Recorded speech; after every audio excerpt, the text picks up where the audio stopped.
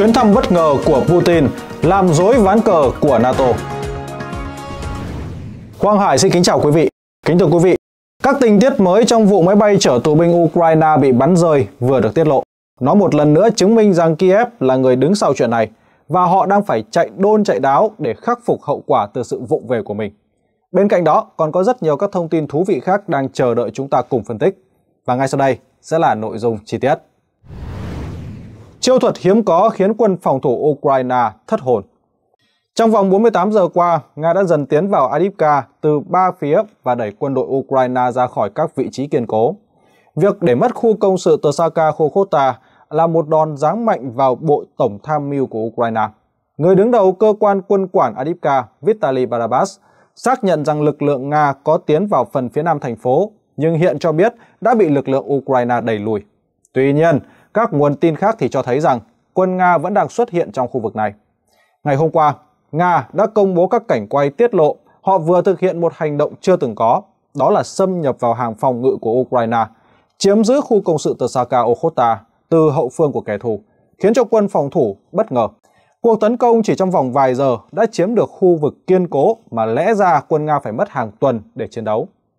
Để làm được điều này thì phía Nga đã đột nhập qua một đường ống ngầm dưới lòng đất. Các đội đặc nhiệm của Nga phát hiện ra một đường ống có đường kính rộng 0,8 mét, ngập đầy bùn rác. Và các sĩ quan chỉ huy kỳ cựu phải đích thân thăm dò đường ống trong chiều dài hơn 2 km. Trong điều kiện phải giữ bí mật tối đa, đường ống được làm sạch nhẹ nhàng bằng tay để tránh gây tiếng ồn. Dưới làn nước lạnh đục ngầu, những người lính Nga thực hiện rất nhiều công việc để có thể làm sạch đường ống. Vào ngày 17 tháng 1, khoảng 150 binh sĩ Nga đã bò dọc theo đường ống dài 2 km, tiêu diệt lính canh, chạm quan sát, đánh úp phía sau đối phương, tiêu diệt quân đồn trú trong khu vực công sự, khiến cho đối phương quá bất ngờ. Một số lượng lớn binh sĩ đã bị tiêu diệt, số còn lại thì bị mắc kẹt và bị bắt làm tù binh. Sau khi chiếm giữ thành công được Tsaka Okhota thì đặc nhiệm Nga đã tiếp tục xâm nhập vào nội thành Adipka. Kênh quân sự Deep State cũng xác nhận các tình tiết trên là đúng sự thật. Trong khi đó, một binh sĩ Nga kể lại rằng anh ta cùng đồng đội khi xâm nhập công sự của đối phương bằng đường ống đã chạm mặt một sĩ quan Ukraine. Tên sĩ quan chỉ huy này tưởng họ là những binh sĩ Ukraine trốn tránh làm nhiệm vụ và bắt đầu quát mắng họ. Sau đó, ông ta đã bị khống chế và các chiến binh đã dễ dàng tiến sâu hơn vào các vị trí của kẻ thù. Lời kể này của binh sĩ cũng trùng hợp với những diễn biến sau đó khi mà công sự Tsaka Okhota thất thủ. Người Nga đã tiến dọc theo ba con phố ở phía đông nam Adipka. Hiện tại, họ đã tới được phố Sobonaya và kiểm soát được phần lớn phố Sotipnaya. Phóng viên quân sự của tờ Bill Julian Boker đã công bố bản đồ cho thấy quân đội Nga đang dần tiến vào khu vực có các tòa nhà cao tầng. Kênh Deep State vào ngày hôm qua cũng công bố một bản đồ tương tự, cho thấy rằng lực lượng Nga tiếp cận được khu vực mà phía Nga gọi là tiểu khu 9 ở ngoại ô phía nam Adipka. Họ viết rằng, trong không khí hoảng loạn do bị Nga tập kích bất ngờ ở Tersaka Okhota, những binh sĩ phòng thủ đã rời bỏ tiểu khu 9 và để mất vị trí điểm cao này vào tay Nga. Như vậy có thể thấy rằng, chỉ trong vòng 2 ngày thôi, thì toàn bộ khu vực được khoanh tròn màu trắng đã sụp đổ. Quân đội Nga tiếp cận được khu vực khoanh tròn màu đỏ với nhiều điểm cao quan trọng. Việc kiểm soát được các vị trí điểm cao này giúp cho Nga có thể dễ dàng bao quát được mọi tuyến đường hậu cần của Ukraine được hiển thị bằng mũi tên màu đỏ. Đẩy quân phòng thủ Ukraine vào hai lựa chọn, hoặc là cố thủ để bị tiêu diệt, hoặc là phải rút lui hoàn toàn khỏi Adipka. Chuyên gia là nhà báo quân sự Ukraine Yuri Busutov đã xác nhận rằng tình hình tại Adipka hiện giờ là khá nguy cấp. Theo ông này, tiểu khu 9 là một khu vực phức hợp gồm các tòa nhà cao tầng, có tầm quan trọng then chốt trong việc kiểm soát thành phố. Vì vậy, quân phòng thủ Ukraine cần phải ngăn chặn người Nga bằng mọi giá. Với đà tiến tới từ hướng Nam, hệ thống phòng thủ của Ukraine tại trung tâm thành phố có thể thất thủ vào bất cứ lúc nào, và quân đội Ukraine sẽ không có thời gian để rút lui tạo phòng tuyến mới. Mặc dù vậy, Tổng thống Zelensky đã từng có rất nhiều cơ hội cứu nguy cho quân đội của mình, nhưng mà giới lãnh đạo Kiev lại lựa chọn làm theo kịch bản tại Bắc Bakhmut, đó là ném hết lượng dự trữ cuối cùng vào cỗ máy xay thịt vô nghĩa. Kết quả, những chiến binh Ukraine giỏi nhất và giàu kinh nghiệm nhất đã chết trong các trận chiến. Mỗi người trong số họ có năng lực chiến đấu bằng nhiều tân binh mới được huy động. Những người vốn không được qua huấn luyện và cũng không có động lực để chiến đấu. Sự cố Il-76 át chủ bài của Nga dành cho Mỹ. Trong bài phát biểu trên truyền hình toàn quốc, Tổng thống Zelensky cho biết tình báo Ukraine đã cố gắng làm rõ số phận của các tù nhân chiến tranh được cho là thiệt mạng trong vụ tai nạn Il-76. Ông này cũng cáo buộc Nga đã đùa giỡn với mạng sống của họ và kêu gọi một cuộc điều tra quốc tế. Còn Bộ Tổng tham mưu Ukraine thì tuyên bố rằng họ sẽ tiếp tục thực hiện các biện pháp để phá hủy những phương tiện phóng tên lửa do Nga sử dụng, bao gồm cả tại khu vực Belgorod và Kharkov. Đồng thời, họ cũng không bình luận hay là phủ nhận sự liên quan của Ukraine trong sự cố Il-76. Trước đó, phát ngôn viên tình báo của quân đội Ukraine từng thừa nhận rằng có một cuộc trao đổi tù nhân đã được lên kế hoạch vào ngày xảy ra tai nạn. Có nghĩa là Kiev đã biết trước về lộ trình và nhiệm vụ của chiếc Il-76. Như vậy, các tuyên bố trái ngược nhau xuất phát từ đầu não Kiev trong vòng 24 giờ qua đều không đưa ra được một lời giải thích mạch lạc nào về nguyên nhân vụ tai nạn máy bay. Nó báo hiệu tình thế khó khăn mà Kiev phải đối mặt khi mà càng ngày càng có nhiều bằng chứng cho thấy Il-76 đã bị lực lượng phòng không Ukraine nhắm tới. Một mặt, chính quyền Kiev khẳng định rằng họ không nhận được thông tin từ phía Nga về việc vận chuyển tù binh bằng máy bay. Mặt khác, Nga lại khẳng định Ukraine đã được thông báo. Đồng thời, Kiev cũng từng chính thức xác nhận về việc có một cuộc trao đổi tù binh đã được lên kế hoạch vào ngày 24 tháng 1. Đáng chú ý là Chủ tịch Ủy ban Quốc phòng Duma Quốc gia Nga Andrei Katapolov nhấn mạnh về tình tiết rằng Ukraine đã được cảnh báo về kế hoạch bay của máy bay 15 phút trước khi chiếc máy bay này khởi hành. Ông này nói như sau, tôi nhấn mạnh, phía Ukraine đã chính thức được cảnh báo 15 phút trước khi máy bay này bay vào khu vực, thông tin đầy đủ đã được chuyển đến họ. Họ đã nhận được thông tin và Tổng cục Tình báo Quốc phòng Ukraine đã xác nhận.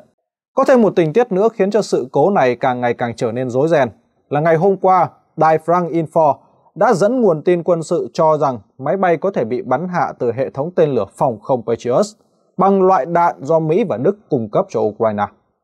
Chủ tịch Ủy ban Duma Quốc gia Nga Vyacheslav Volodin đã chỉ thị chuẩn bị kháng cáo lên Quốc hội Mỹ và Đức về việc chính Hoa Kỳ và Đức là bên đã cung cấp cho Ukraine các hệ thống phòng không Patriot và IRIS-T.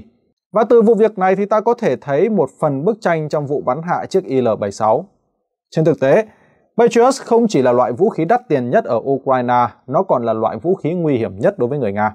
Bởi vì hệ thống này là quá đắt đỏ, cho nên chính quyền Biden chỉ cung cấp tổ hợp và tên lửa Patriot đủ để bảo vệ thủ đô Kiev thay vì toàn bộ lãnh thổ Ukraine. Do đó, để tránh nguy cơ bị Nga săn lùng và tiêu diệt trong các cuộc không kích có chủ đích nhắm vào Kiev, lực lượng phòng không Ukraine đã cho phép hệ thống Patriot hoạt động ở chế độ săn bắn tự do. Tức là họ được di chuyển liên tục trên khắp đất nước, giảm thiểu khâu liên lạc và hạn chế bật radar liên tục để tránh bị phát hiện. Ngoài ra, để bảo mật thì nhóm điều khiển Patriot cũng không phối hợp với lực lượng phòng không địa phương. Vì vậy, khi nhìn thấy mục tiêu tiềm năng thì họ lập tức phóng tên lửa mà không thông báo cho các đơn vị phòng không địa phương, vốn đã biết trước về chuyến bay chở tù binh Ukraine đã được phía Nga cảnh báo. Dù đây chỉ là một góc nhỏ trong bức tranh toàn cảnh về sự cố Il-76, nhưng mà với Kiev thì bất kỳ một kịch bản nào, cho dù là đổ lỗi thành một tai nạn hay là để lật đổ tướng Zelensky, chính quyền của Tổng thống Zelensky cũng sẽ phải đối mặt với tình huống rất tồi tệ. Đặc biệt là khi mà truyền thông Pháp đưa tin rằng tổ hợp Patriot của Mỹ và Đức là thủ phạm gây ra cái chết của 65 binh sĩ Ukraine, thì rõ ràng đây là một vụ tai tiếng khó có thể che giấu. Chính quyền Kiev cũng đang mắc kẹt do họ không thể đổ lỗi cho đội ngũ điều khiển hệ thống Patriot, bởi vì đơn giản, những người bấm nút là người nước ngoài. Đây là một vụ bê bối lớn và Nga sẽ biến nó thành một con át chủ bài trong cuộc đàm phán với người Mỹ.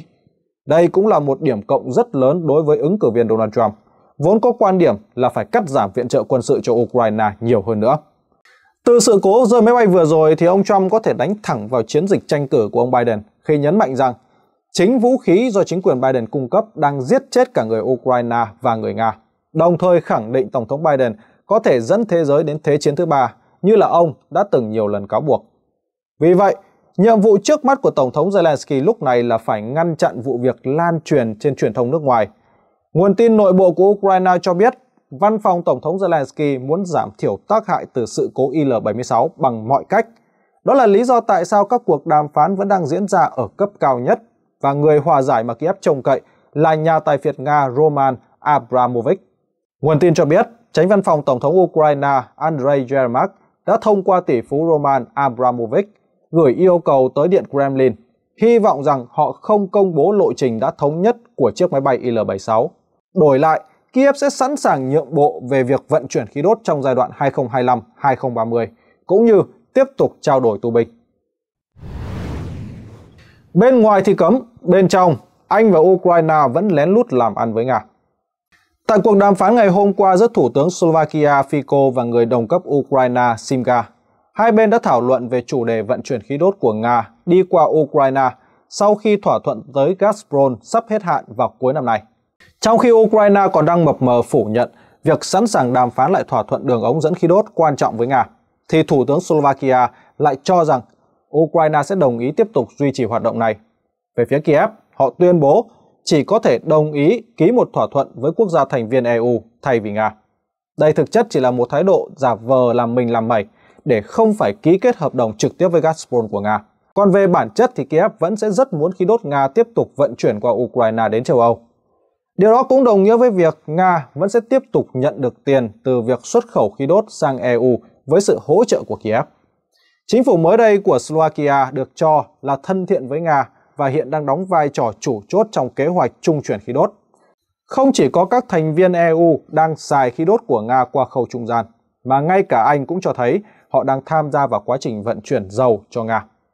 Theo phân tích của Trung tâm Nghiên cứu Năng lượng và Không khí sạch có trụ sở tại Phần Lan, thì từ tháng 3 năm 2022, ngay sau khi Nga tấn công Ukraine, cho đến cuối tháng 11 năm 2023, Anh đã bảo hiểm số dầu mỏ trị giá 120,6 tỷ euro cho Nga. Phân tích này tiết lộ rằng có tới 33% tổng lượng dầu của Nga được vận chuyển trên các tàu chở dầu được bảo hiểm ở Anh. Đồng thời, dữ liệu của Kepler đã cho thấy rằng vào năm 2023, hoạt động khoan dầu tích cực nhất của Nga đã diễn ra, với tổng cộng độ sâu được khoan lên tới 28.100 km. Chuyến thăm bất ngờ của ông Putin làm dối ván cờ của NATO. Tổng thống Putin vừa có chuyến thăm bất ngờ tới vùng Kaliningrad vào ngày hôm qua, nơi ông có cuộc giao lưu với sinh viên của Đại học Liên bang Baltic cũng như cuộc gặp với các quan chức tại đây. Chuyến thăm lần này của ông ấy đã thu hút được sự chú ý đặc biệt của NATO khi mà chiếc không lực chở Putin đã bị 8 máy bay của NATO theo dõi cùng lúc. Chuyến thăm cũng đã diễn ra trong bối cảnh mà NATO vừa phê chuẩn một cuộc tập trận quân sự lớn nhất kể từ thời chiến tranh lạnh. Do đó, sự có mặt của Tổng thống Putin tại Kaliningrad phần nào tạo ra những rắc rối cho NATO. Mặc dù Điện Kremlin cho biết rằng chuyến thăm lần này của Tổng thống Nga không phải là một thông điệp gửi tới các nước NATO, nhưng truyền thông phương Tây vẫn coi đây là một lời nhắc nhở rằng Nga đang hiện diện ở các nước Baltic. Việc Tổng thống Nga đích thân đến thăm Kaliningrad có nghĩa là người Nga rất coi trọng khu vực này trong bối cảnh đối đầu với phương Tây. Hiện tại, NATO đang chuẩn bị cho cuộc tập trận lớn nhất kể từ khi kết thúc chiến tranh lạnh với sự tham gia của 90.000 binh sĩ. Hơn nữa, kịch bản diễn tập là một cuộc chiến với Nga ở khu vực biên giới Phần Lan, Ba Lan và Latvia. Kế hoạch tập trận có cả giả định đánh chiếm Kaliningrad nhằm ngăn chặn hạm đội Nga ở biển Baltic. Đây là khu vực nhạy cảm với Nga bởi vì nó nằm cô lập và bị bao quanh bởi các thành viên NATO. Tuy nhiên, việc Nga quyết định cung cấp cho Belarus khả năng răn đe hạt nhân cũng đã khiến cho NATO phải giật mình lo lắng. Nói một cách ngắn gọn, Belarus đã có bức tường lửa cần thiết để tiếp tục hỗ trợ hoạt động quân sự đặc biệt của Nga ở Ukraine. Chiếc ô hạt nhân này cũng là năng lực sống còn đối với Moscow, bởi vì Belarus sẽ trở thành một vị trí địa chính trị cung cấp chiều sâu chiến lược cần thiết cho giai đoạn tiếp theo của Nga ở Ukraine. Tổng thống Putin cũng xác nhận về việc huấn luyện cho phi công Belarus để sử dụng đạn trên không với đầu đạn đặc biệt. Đây là một tin tức gây chấn động với NATO. Sự kiện này đã đặt dấu chấm hết cho giấc mơ của NATO nhằm chặt đứt hành lang Suwaki, nối căn cứ hạt nhân Kaliningrad trên biển Baltic với Belarus và lãnh thổ Nga. Kaliningrad là một hải cảng quanh năm không có băng và nó cho phép hải quân Nga có thể hiện diện sâu trong vùng biển của châu Âu. Sau khi Liên Xô tan rã, với việc Litva và Ba Lan lần lượt trở thành thành viên của EU và NATO, thì phần lãnh thổ hải ngoại này của Nga đã bị mắc kẹt giữa vòng vây của kẻ thù. Tuy nhiên, vùng đất này vẫn đang được kết nối với Belarus, một đồng minh rất thân thiết của Nga thông qua hành lang Suwaki. Khu vực này cũng từ lâu được coi là gót chân Asin trong hệ thống phòng thủ phía đông của NATO, bởi vì Nga có thể chiếm giữ một cách dễ dàng vùng Baltic bằng cách tiến hành một cuộc tấn công gọng kìm xuất phát từ vùng Kaliningrad ở phía tây và từ Belarus ở phía đông nam. Thời điểm này, càng ngày càng có nhiều lo ngại về một cuộc chiến tranh giành quyền kiểm soát hành lang suwaki có thể xảy ra. Nếu như Nga chiếm được nó thì đây là một đòn giáng mạnh đối với NATO. Trong cuộc xung đột với Ukraine, Nga đã thành công trong việc kiểm soát Donbass nhờ một con đường bộ kết nối khu vực này với bán đảo Crimea. Tương tự, việc nắm giữ được hành lang Suwaki cũng sẽ giúp cho Moscow có được tuyến đường bộ kết nối với Kaliningrad. Ngược lại, NATO cũng có thể dễ dàng phong tỏa Kaliningrad Và giữa lúc cuộc tập trận của NATO đang làm huyên náo cả một góc trời, thì Tổng thống Putin bất ngờ xuất hiện. Nó cho thấy rằng Moscow đang giám sát chặt chẽ các khu vực quan trọng và mọi thứ diễn ra xung quanh nó. Bài bình luận ngày hôm nay của chúng tôi xin được kết thúc tại đây. Cảm ơn quý vị đã quan tâm theo dõi. Xin chào và hẹn gặp lại trong các chương trình tiếp theo.